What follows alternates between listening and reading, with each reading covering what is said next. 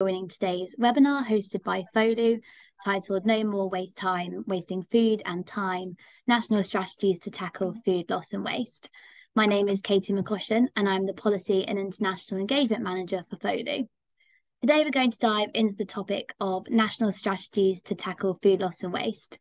Uh, we see this as one of the critical solutions to the World Food Loss and Waste Challenge. Whilst there are many global commitments and milestones to reduce food loss and waste, focusing on national action will really help drive substantial and long term reductions. And I hope that today we're going to learn from different country experiences and have an open and friendly conversation on these challenges and how we can accelerate implementation together. So, to kick us off, it's my pleasure to hand over to FOLU's Executive Director uh, and my boss, Morgan de Gillespie, for her opening remarks. Morgan. Thank you, Katie, and thank you all for joining us today. Uh, I am fresh back from New York from Climate Week, and I'm thrilled and decided, uh, thrilled and excited to kick off this session today on such a critical topic of food loss and food waste. It has not been at the forefront of people's thoughts and minds, I feel, for the last couple of years. Um, but we really hope that by raising awareness and driving more action on the ground, we can elevate food loss and food waste to one of the premier solutions to one of the world's greatest challenges, climate change. And why is that? Well, food waste is one of the most clear representations of inefficiencies in our food and land use system. You don't need me to tell you, but we know that a third of all food produced by weight is lost or wait, wasted, and that's between farm and fork.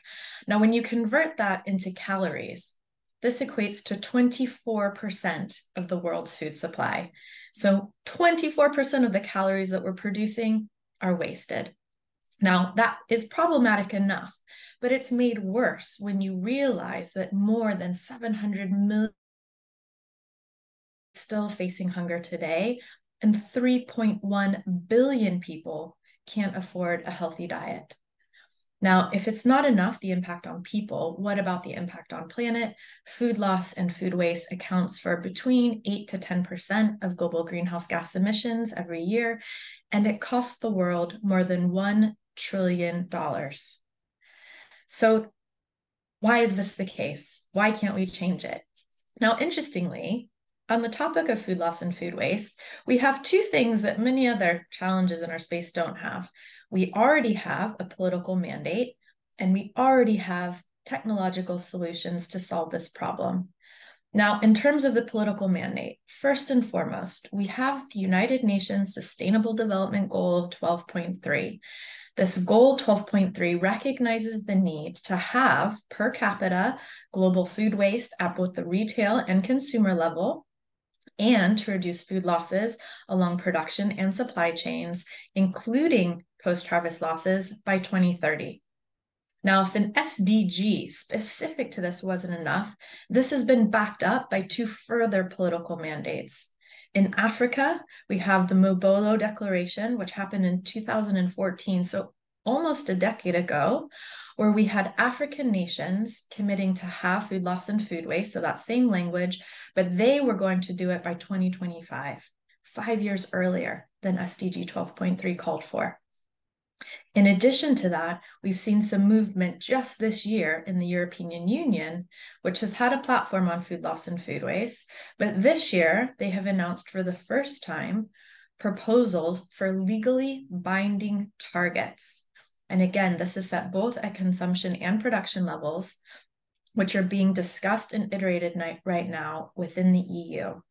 Now, if this is successful, and we heard from the European Commission last week at a food loss and food waste event hosted by Champions 12.3 in New York, it is likely that this is going to go through. This could provide a template for further national and regional action.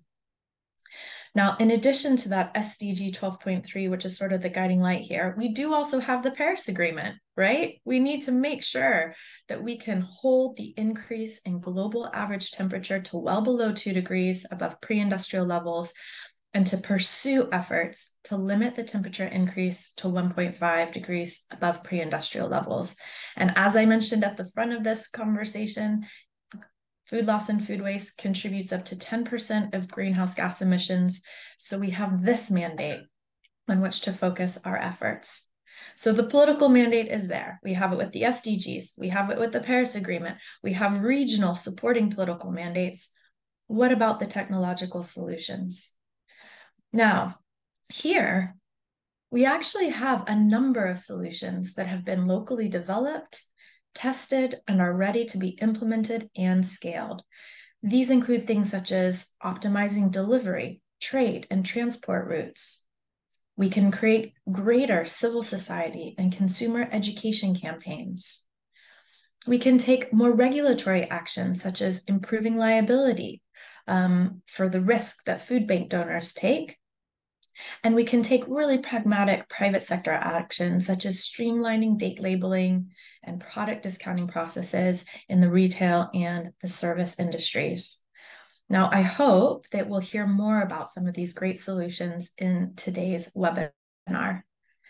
Now, what are some other things that we as FOLU believe are absolutely necessary to move the needle on targeting and reducing food loss and food waste? One thing that we'd like to call for is that national plans are needed, and they're needed to coordinate action across the value chain on food waste and food waste reduction. What we know is that it differs, right, in terms of commodities, where it occurs in the supply chain, and that looks different in different countries and even sometimes by different regions. And again, we have panelists from different geographic regions today to talk about that. However, even with this, only a handful of nations have established strategies to reduce food loss and waste. And those include the United Kingdom, where I'm based, the Netherlands, and also Ethiopia, where we have a FOLU platform and Sophia on the panel today. Now, each country needs to create a tailored plan to address this locally. They need to measure and assess the sources of food loss and food waste. They need to explore policy levers, such as waste laws or taxes, setting up national campaigns. They need to establish national strategies on food loss and food waste. These are the guiding frameworks that different government departments and institutions can use so that this becomes a strategic priority for them. And these national strategies can help to align public policies, private sector actions, farmer practices, consumer behavior towards this overarching shared goal, which is important to ensure we deliver on time. Now, FOLU is also a partner with Champions 12.3. They've been one of the biggest advocates of the target, measure, act approach. And we want to amplify the calls for this approach at national level.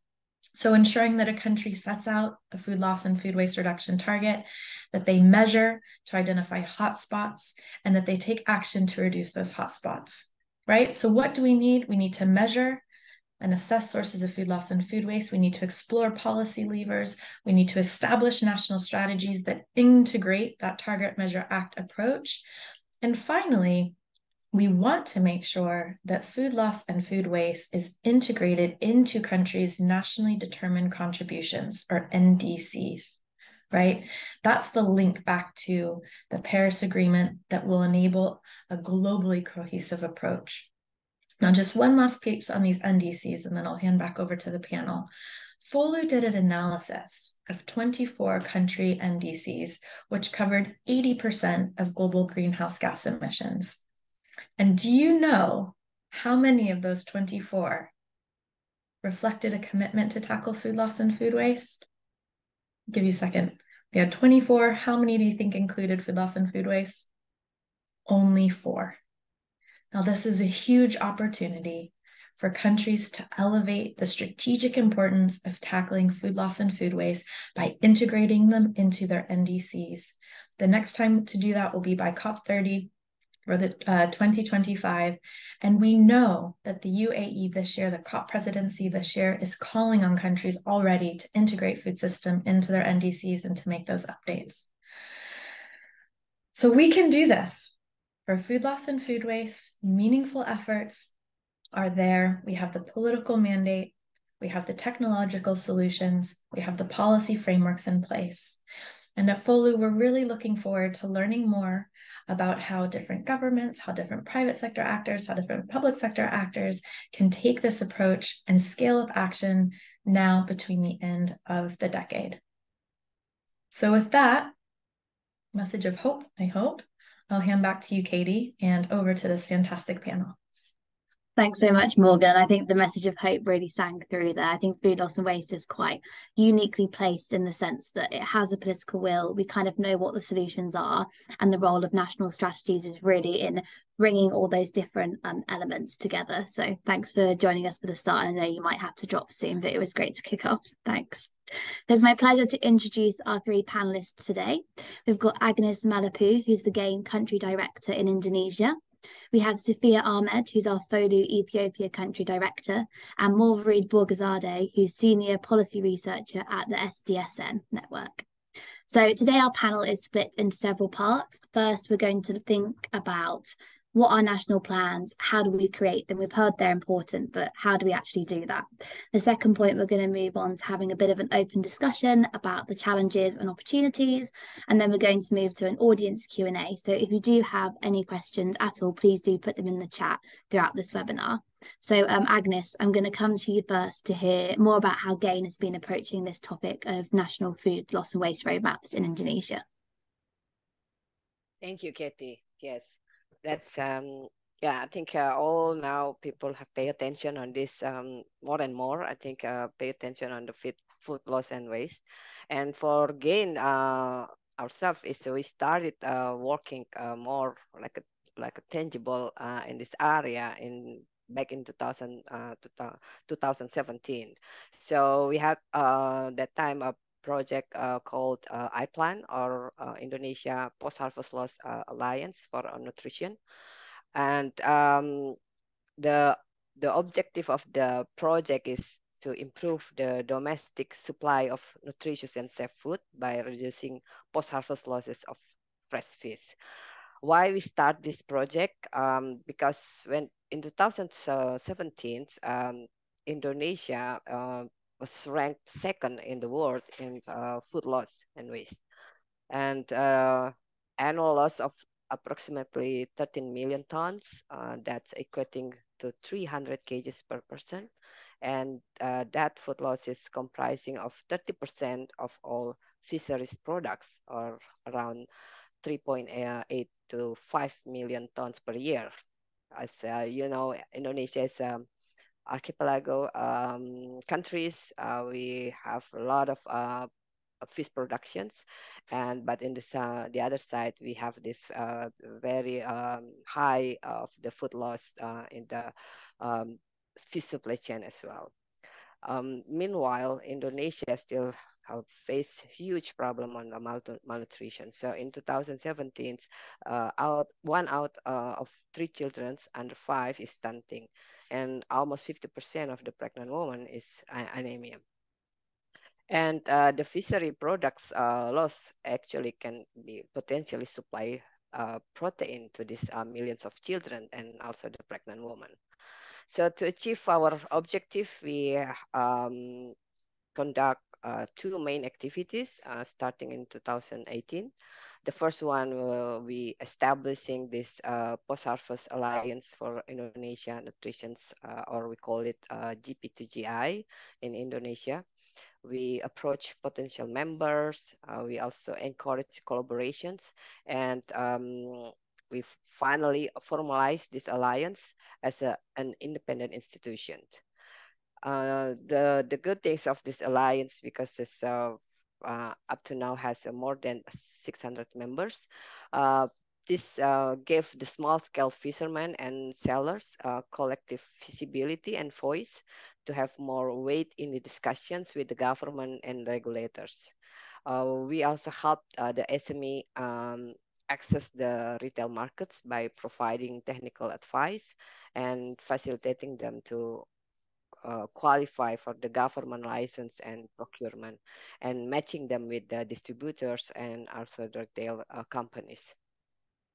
Uh, the second activities uh, we was we was uh, conducted this uh, business innovation challenge that's to identify the local innovations Uh, the first challenge was on innovations in cold chain technology, and the second one on fish-based food products. Uh, we provide eight weeks of training and mentoring for the innovators, uh, such as uh, market validation research, uh, licensing and permit, and provided seed and funding. Um, we received more than 500 um, innovative proposal at that time, and uh, finalist uh, finalist products are now also available in the market. so here, um, maybe I can also give you some of the result of the project. So through these uh, two um, activities, we have added new opportunities for business development uh, their productivity and also income because at the end of the project, uh, over 20,000 cold chain technology products have been sold and used, and the savings of up to a thousand US uh, dollar per fisherman per year uh, in ice or cooling cost. Uh, this is also contributed to reducing energy use in materials.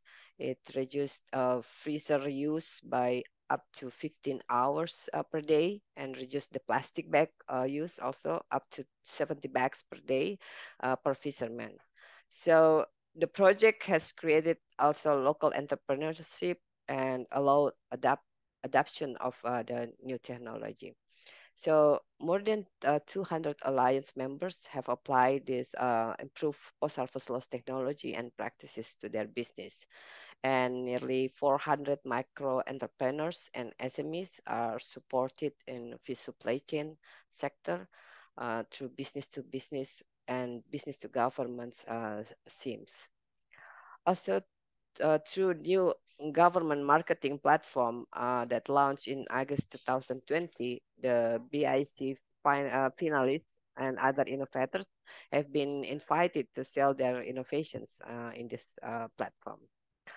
And um, through the National Alliance uh, that I have uh, mentioned in the beginning, we were also able to foster the MOU between the Ministry of Health and the Ministry of Marine Affairs uh, and Fisheries. This to reduce the malnutrition through increase the fish consumption. So oh, fi yeah, my finally uh, word about this project that so through this business innovation challenge, we have identified and promoted crops that uh, were not currently traded, uh, which uh, means opening up also the local economic opportunities and sources of livelihood. And the project has improved a culture of sharing knowledge among the key stakeholders and brought um, positive outcomes on sustainable development and improve the quality of life of local communities as well. So that is about the project um, that we've done and starting uh, work on this uh, area on food loss and waste. And currently we have uh, supported the national of the, the Ministry of the National Development Planning in preparing the the national roadmap for the food loss and waste uh, to meet the SDGs and um, up to 2045, where uh, the target is to reduce the about 75% of the food loss and waste uh, in country. And uh, I can share because this is still initial stage, uh, but um, I think the commitment of the government is uh, really positive, and then I think this is uh, very important because kind of this initiative uh, really need a leadership, and I'm thinking, uh, uh, this is, should be uh, the the local leaderships uh, where gained positioning is more on the supporting and facilitating them and to enable them to you know um, conduct uh, in their capacity uh, to achieve uh, what uh, Indonesia uh, aim to achieve in 2045 on food loss and waste. I think that's all from my side first, and I give back to Katie. Thank you. Thanks so much, Agnes. And I think it's it's really interesting that what needs to be done um, in different communities, whether you're um, civil society, whether you work in business to get to that MOU buy-in from government and actually coalition building um, is a critical point of that so that producers and SMEs can have their voice heard as well in order to inform effective policies. Um, I'm now going to hand over to Sophia to talk a little bit about how FOLU's been approaching this um, in Ethiopia as well. Sophia. Uh, thank you, Katie. Uh, for us, uh, Food and Land Use Coalition in Ethiopia, uh, back in 20 in, in 2020, we have produced our action agenda report, which enumerates uh, uh, changes that needed to happen in Ethiopia in terms of um, you know the way we produce food and the way we manage our land. Um, in those action agenda report, we came up with uh, food loss and waste came up as one critical transitions um, in Ethiopia. And um, we start to work in, in that critical transition.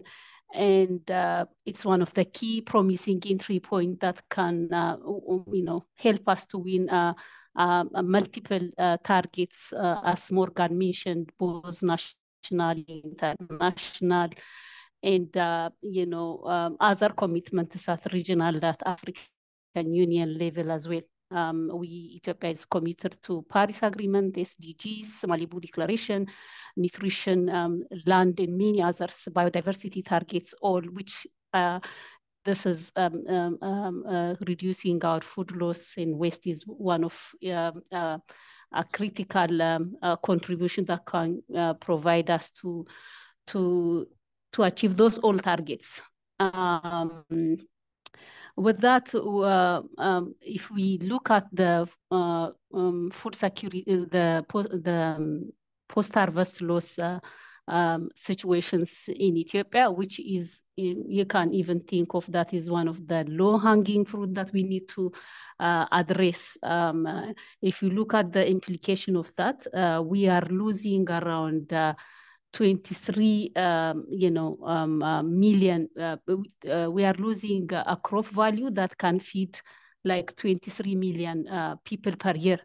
Um, the paradox is we are also having the same uh, amount of people food insecure every year which is increasing every single day. We are this year alone we have like around 22 million over 22 million people are food insecure in ethiopia so we need we don't need even to produce more if we want to close that in food security gap.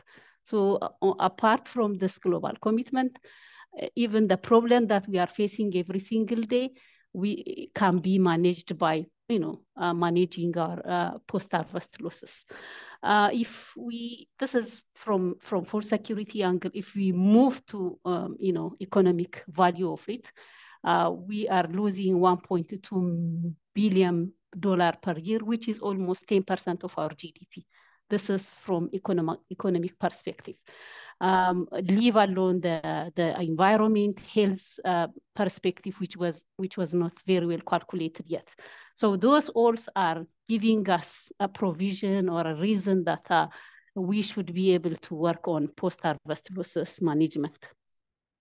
With that, we started to have this uh, dialogue with the Minister of Agriculture, and then we agreed that we we need to start uh, from uh, from you know measuring and reporting of our our, our uh, where uh, why where and you know how this uh, loss is happening so that the government can take a proper action. All stakeholders uh, will take a proper action to to to to change the the, the situation. Um, and then we we we developed a customized, uh, um, uh, we call it post, standard post-harvest loss, customized post-harvest loss um, uh, measuring and reporting um, protocol for Ethiopia. And now, at the moment, we are moving to to uh, one of the crops that uh, we to test that in uh, avocado uh, value crops to serve as an input in designing uh, solutions for developing comprehensive and sustainable avocado uh, sector. This includes um, uh, apart from the protocol, it will be increasing awareness raising and knowledge uh, uh, skill development, as well as uh, supporting the Ministry of Agriculture in post-harvest loss messaging in, in, um, in the extension system, uh, how to uh, prevent um, avocado value chain post-harvest losses, as well as market linkage and the need for proper resource allocation. Um, that also includes uh, supporting and encouraging uh, private sector who are now engaged in uh, avocado uh, value chains to to take the you know by themselves a post-harvest loss uh, uh, management practices, which mostly will have a, an economic reward for them, but at the later stage, those wins that I have talked will be achieved. Uh, for us, this will be, uh, we hope that we, this will serve as a springboard um, uh, to provide a framework for the national uh, adoption of uh, the standard approach that we have produced in all value uh, agricultural commodities um, in Ethiopia. Um, I think that is um, one thing that I would like to mention as we go. I will start to talk more on the others. Thanks so much, Sophia.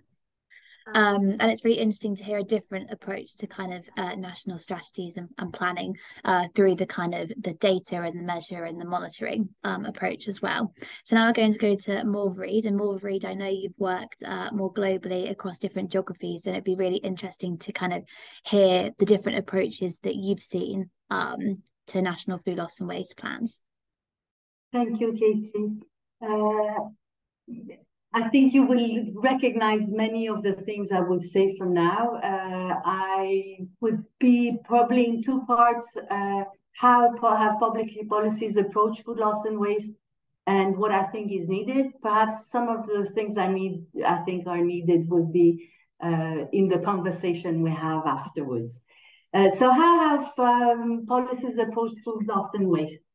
Uh, they've come to food loss and waste prevention and reduction generally associated with broader public approach to food systems with a variety of objectives, including improving food security, ensuring food safety, uh, safeguarding farms and rural livelihoods, preventing municipal waste generation, and more recently, uh, transforming food systems uh, from a circular economy angle.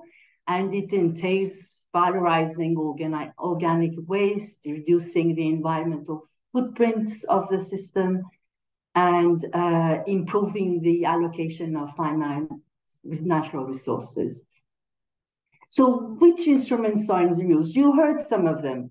Uh, some uh, countries have national strategies. They most of them have international commitments, and more frequently, uh, they implement a variety of ad hoc instruments.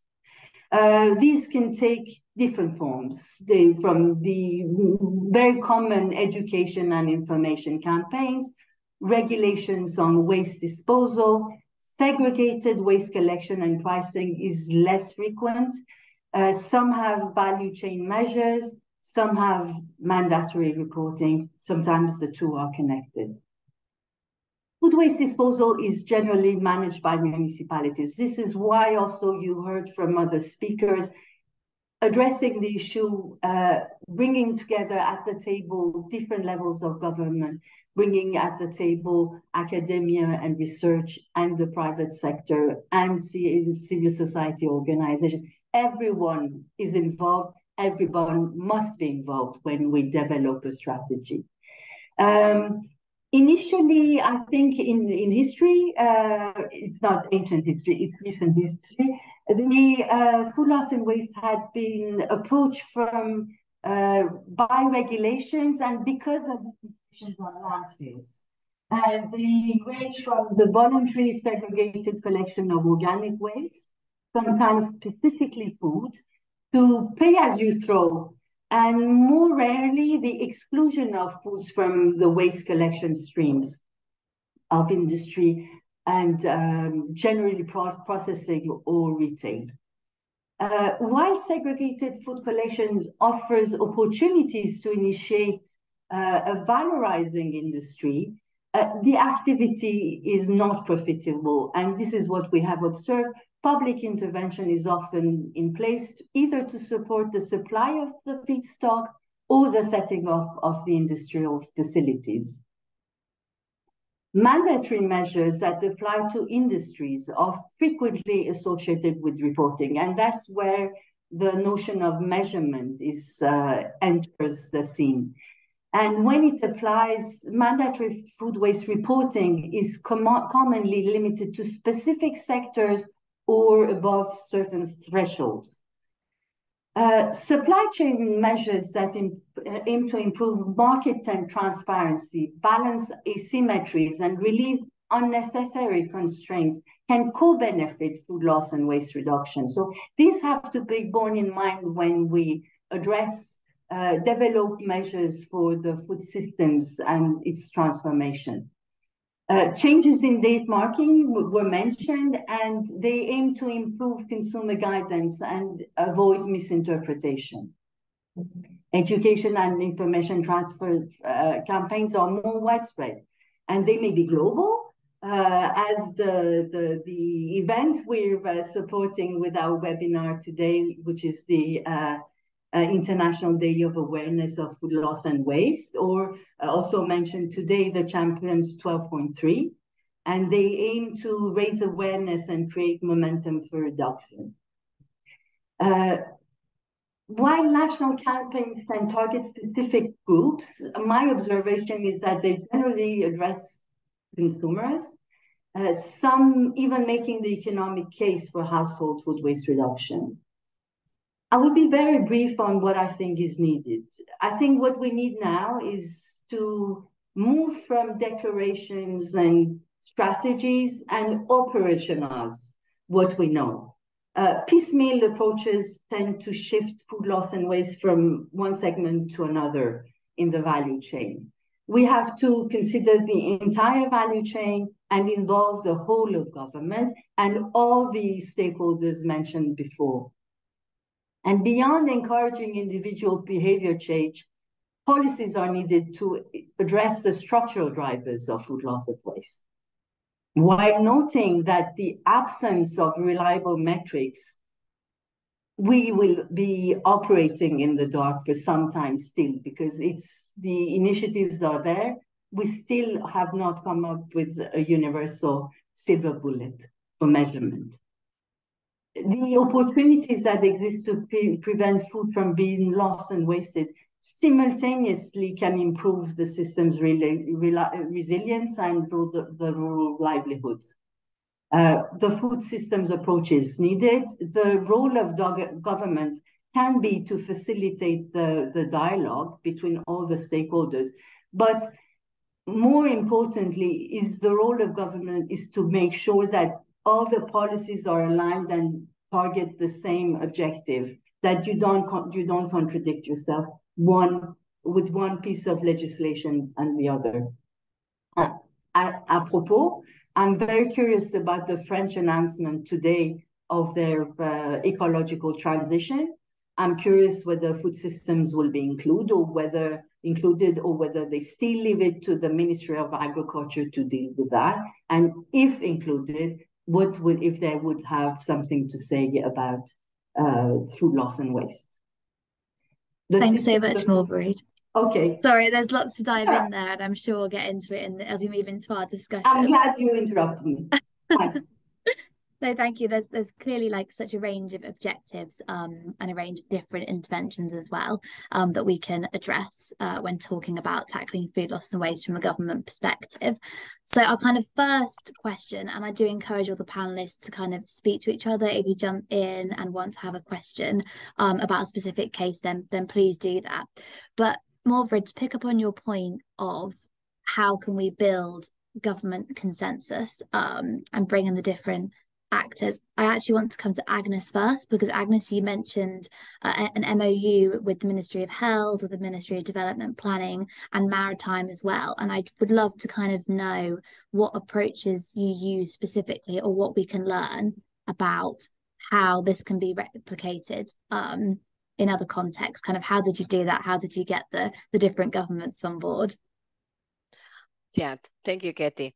So I think our approach is, uh, as usual, we start with our mapping. Uh, when we start the project, we start also mapping the key stakeholders and also their programs, because it's uh, many times we uh, saw that is basically some of the ministry have already, uh, you know, some part of the uh, intervention uh, in the under their ministry and the other part of intervention on the other ministry. So I think uh, with the good mapping of the key stakeholders as well as their programs, we can you know like navigate which one we can like uh, put together and integrate it. As I mentioned in the beginning by uh, Morgan and also by uh, uh, Morvarid, that um, kind of this uh, you know integration is needed. So this is when we saw that is these two uh, have uh, the same objective. That is uh, to um, improve the uh, consumption of uh, fish. Uh, in the nutrition side of of the Minister of um, uh, Minister of Health uh, looking this uh, fish is uh, a very good source of uh, protein, and the other uh, the Minister of Fisheries is uh, how to promote this uh, because we uh, Indonesia is really abundant with fish production.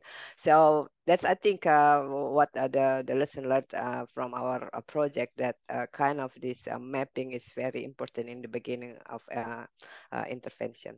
Thank you. Thanks so much, Agnes. And Sophia, I know that you must have um, undergone a similar mapping with your kind of measurement and, and monitoring exercises. Do you have any kind of key lessons on how um, to approach setting up a national protocol, or if there are any findings you've kind of teased out from the, the work piloting this in the avocado value chains? Yeah, thank you, Katie. Um, for us is we we are first we were aiming to have uh, this um, national uh, you know standard uh, protocol to be adopted by the Minister of Agriculture.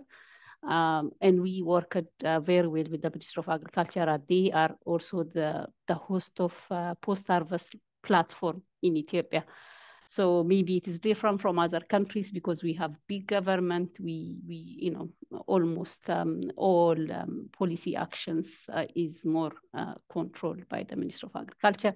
Uh, they are the mandate institute. This will be done in collaboration with Ethiopian uh, Statistics Authority. So we started with the Minister of Agriculture. We thought that uh, this is we we we were we are not going to adopt um, any protocols specifically because we haven't heard a lot of stories or success stories around each protocol developed by international community FAO 12.3 or WRI1 and others. Uh, so we we came up with customized protocol.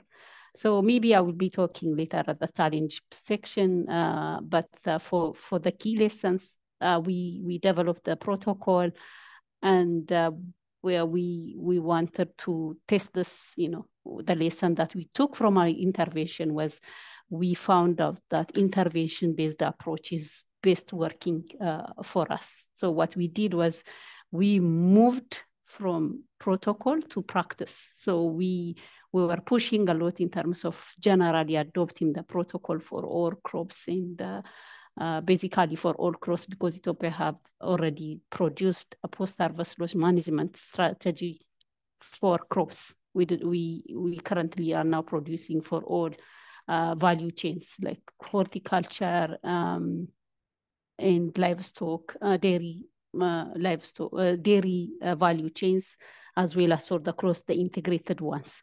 So we decided together to move to, you know, work on avocado value chain. So that will be uh, something that, you know, a learning from us that we intervention-based approach is working for us that will help us to, uh, you know, accelerate change in other commodities. That's one thing that uh, we, I would like to highlight in terms of uh, the learning from our intervention over the last uh, couple of minutes. Thanks, Sophia. It's really interesting. And because you teed us up so beautifully um, to the next question on kind of challenges, I would love to know a bit more about kind of the key challenges that you faced in supporting those interventions and kind of moving to the to the implementing point. Um, Challenges, um,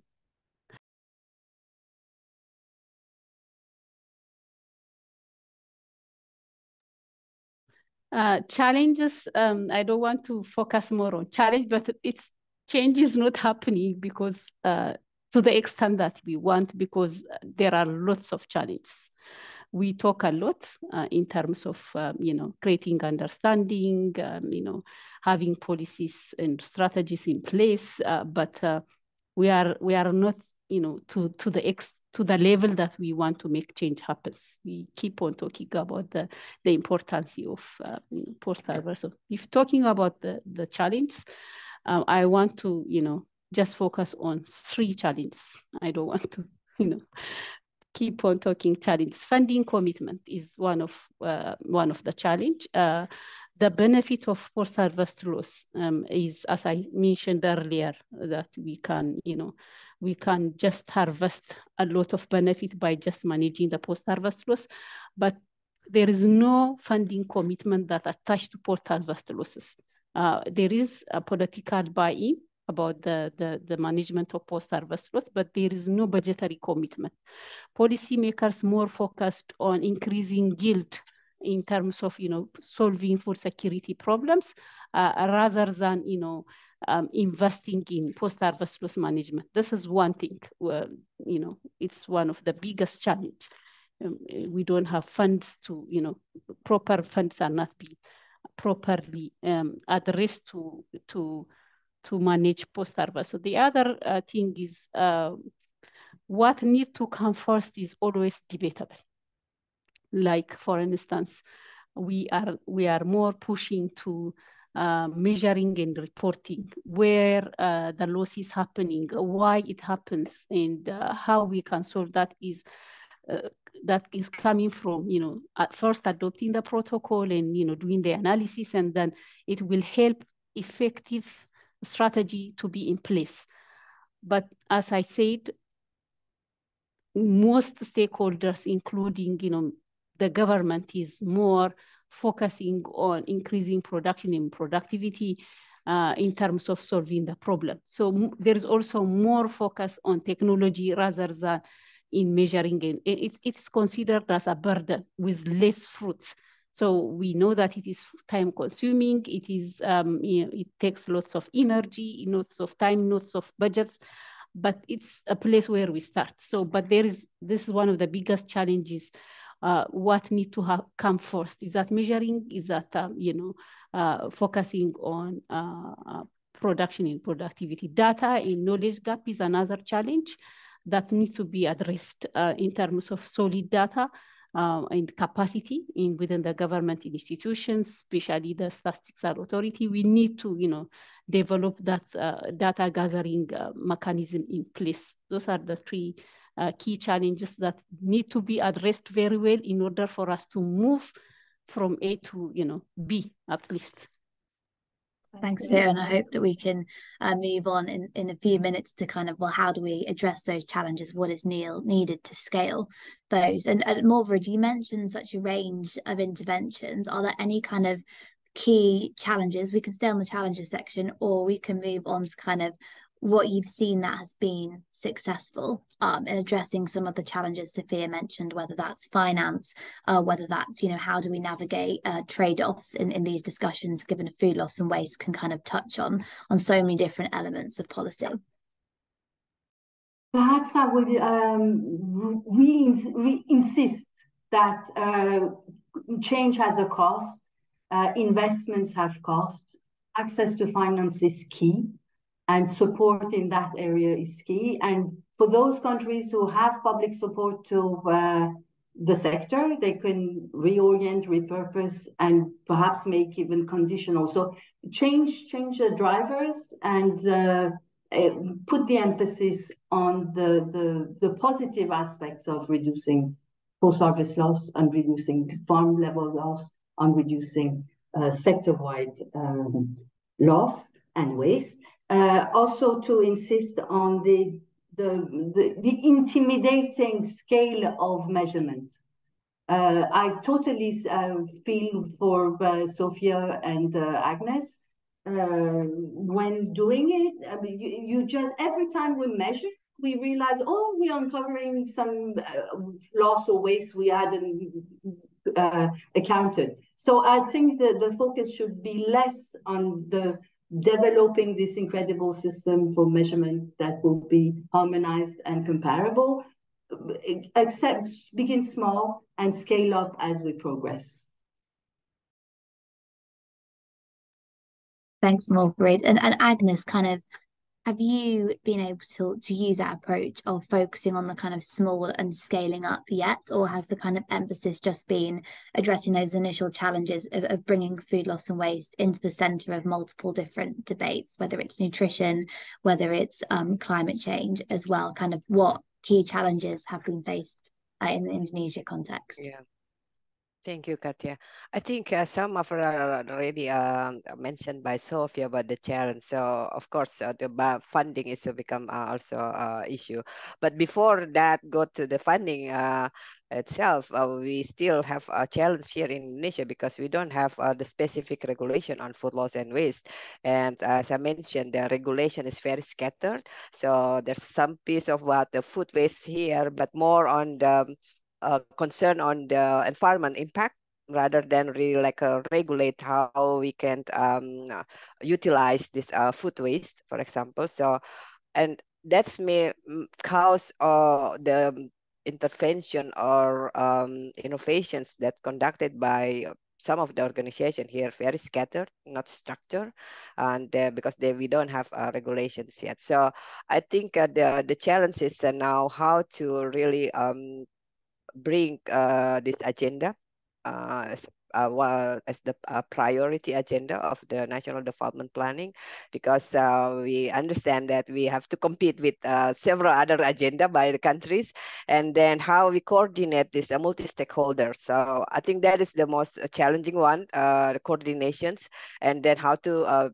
like uh, get some consensus because uh, even the definition of uh, what is uh, the food waste on the other ministry, they have the other def definition uh, under uh, other ministry food waste also they have a different definition. So I think that's we need to consolidate this and get a consensus among stakeholder and bring it to the you know kind of the um, more specific regulations.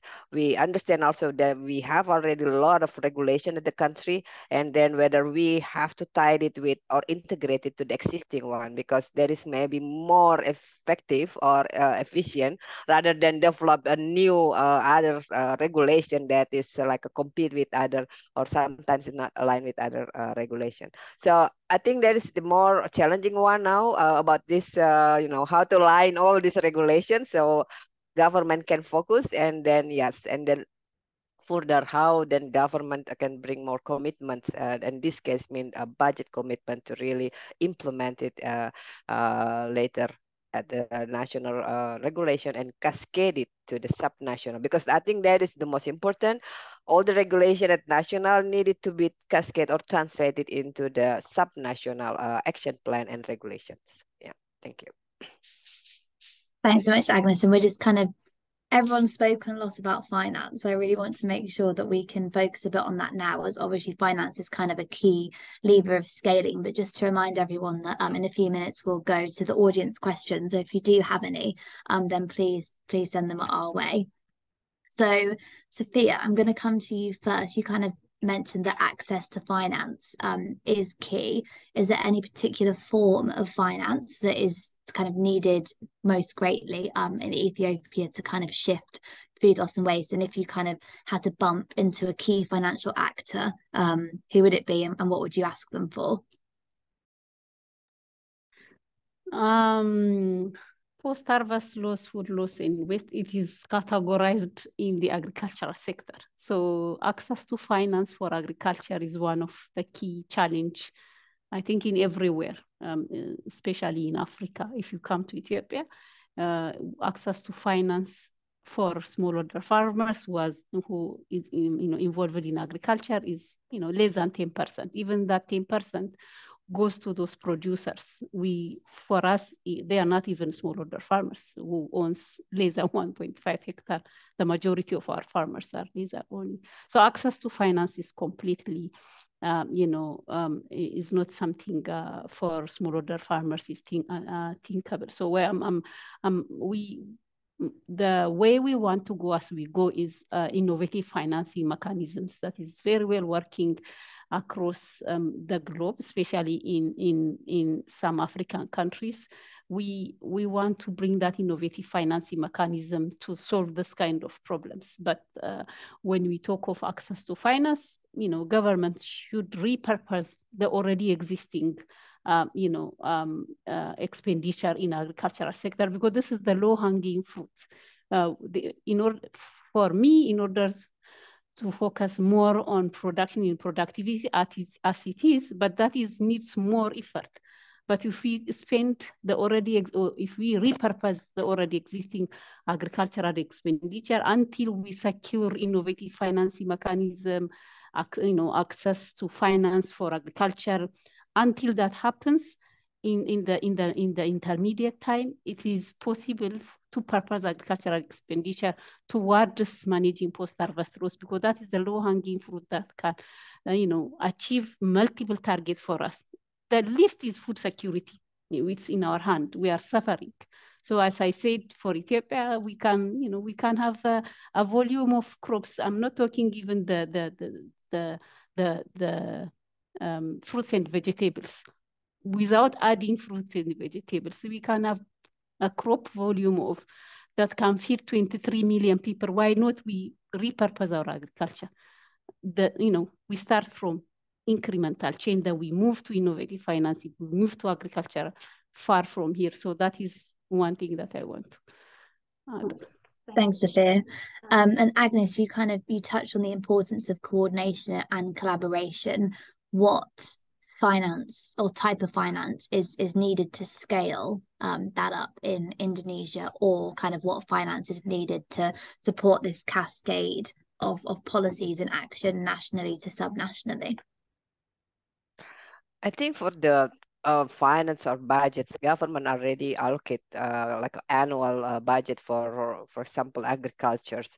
I think what we need uh, to like um, improve is how to integrate it this issue already in the planning of the um, uh, agriculture's uh, development in the country, for example. So instead of just focus on the increasing the the productions, the, but in the strategy, it's already addressed the food uh, post-harvest loss uh, reduction, for example. So not necessary to add uh, additional budget, but how this is uh, more on the action plan is more integrated. So uh, with what resource we have, we can start doing something uh, with our yeah uh, revise our uh, our uh, strategy on uh, agriculture, for example, and with my budget that already allocate, maybe we can maximize this. And include already the uh, the reduction of um, post harvest loss the fi- the other things I think uh, it's not necessary to to finance. Uh, uh, the first one is of course regulation needed, so the government can allocate budget. So that's why that is very important and crucial. We have to have that first.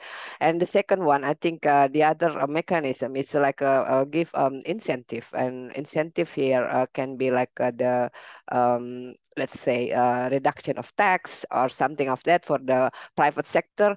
So every sector can um, contribute. So not necessarily um, handed to government to to you know financing everything, but I think the, across the value chains, the private sector is also very crucial, and there is where we have to stimulate uh, through the regulations and then kind of uh, provide a, a, facilitating incentive for them to you know shifting their their uh, um, mechanism, productions uh, or uh, kind of that to be more yeah um, with the sustainable on the more sustainable way.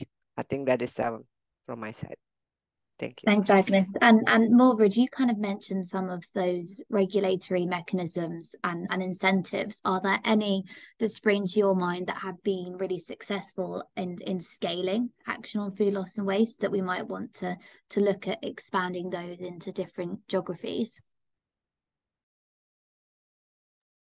I think it's very uh, cultural in a way.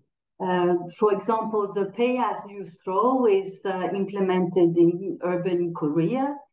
I'm not sure it would be easily uh, uh integratable in other places, in other geographies. Uh, the, the, also the things you were asking for success. I'm going to say this something that's not exactly a success. For example, in Japan, they they the duty of dealing with your waste is with any sector um, actor. So retail, rather than having waiting for the shelf life to, of a product to be over, uh, sends it back to the to the processor. So what that's why when we set up regulations, when we set up laws and rules, we have to have everyone at the table so that they can raise their hand and say, "Oh, but this is not going to work because it's going to push the push the loss of waste in, to another sector. What I wanted to say is that the role of government, of course, we need finance, that's for sure, but sometimes doing other actions on the supply chain also helps.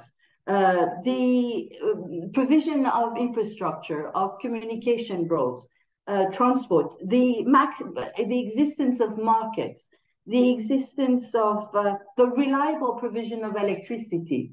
Uh, all these are empowering and enabling the sector to deal with the issues it's facing. Advisory services also are key to scale. So when you when you have one initiative that works through advisory services, you can uh, transport it to other farmers, other sectors, uh, other products. So uh, there's the uh, the enablers that are important too.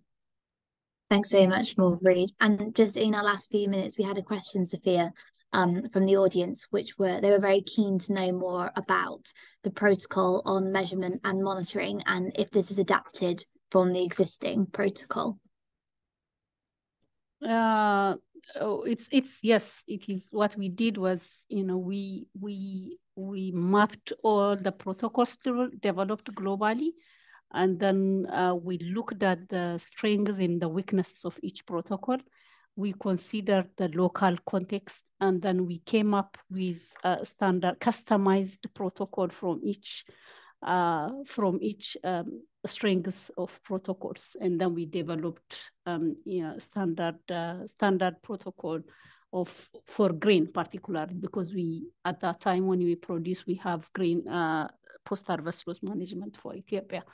So that is um, um, a combination of all, uh, which uh, is also it, it takes uh, um, a lot of time in terms of you know validating it. that's what we are trying to do in avocado chain value chain, but we we are very much open uh, to adopt any protocol because we really want government to start to measure and uh, report the know how where in in happens I mean in terms of uh, the in, in the value chain. So we are not proponent of this customized protocol, but the demand is came in and then we we want to you know serve um, um, the system.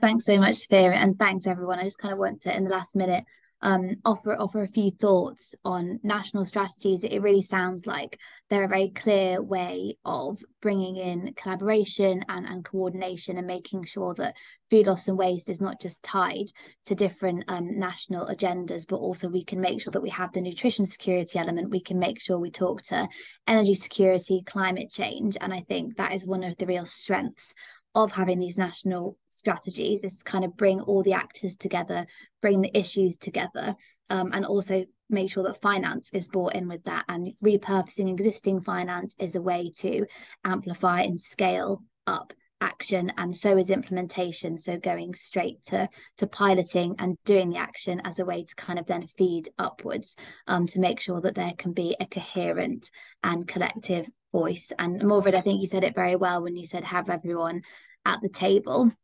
Um, and I think that's what's very important to everyone. So I want to thank Agnes, Sophia, Morvarid, and uh, Morgan for joining us today, and also our FOLU colleagues, Clara, Sophie, and Hannah and Jake for making this happen. So thanks, everyone, and have a good day. Thank you, Katie, for Thank you, Katie. Thanks, everyone. Thank you, everyone. Thank Take you. care. Bye. Thank you. Bye.